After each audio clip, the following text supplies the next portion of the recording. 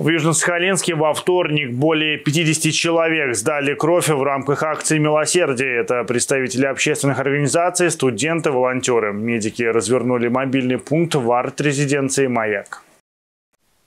Перед процедурой каждый донор прошел медосмотр, сдал необходимые анализы и заполнил анкету. Многие из ребят уже не в первый раз принимают участие в подобных акциях. Никто не знает, в каких ситуациях может попасть человек, и ну, в, кажд... в разных ситуациях может понадобиться кровь. Например, я также смотрела вчера перед тем, как сдать эту кровь. Сегодня я смотрела в центре сдачи крови именно сам светофор, и там показывал о том, что, например, третий положительно очень сильно не хватало, там, например, остальных, э, некоторые были, конечно, зеленые, но это только одна или две группы, а остальные были все желтые, то есть им были в нехватке. Добавлю, что такие выезды медработников областной станции переливания крови в среднем проходят раз в три месяца.